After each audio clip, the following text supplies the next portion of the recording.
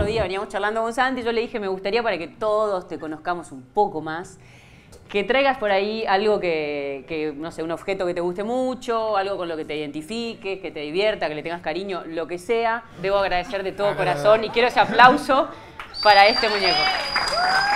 En realidad, este, compré dos muñecos. Este y otro que era, te armabas, era un lugar donde te armabas tu propio Muppet, ¿no? Y armabas con la ropita que vos querías, los ojos, todo.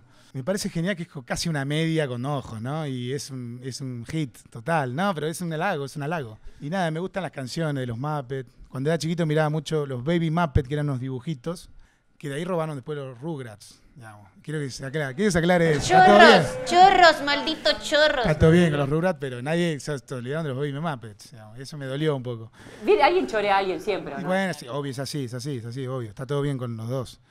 Solo reivindicar a los Baby Muppets. Bien, lo hicimos hoy. Vamos todavía.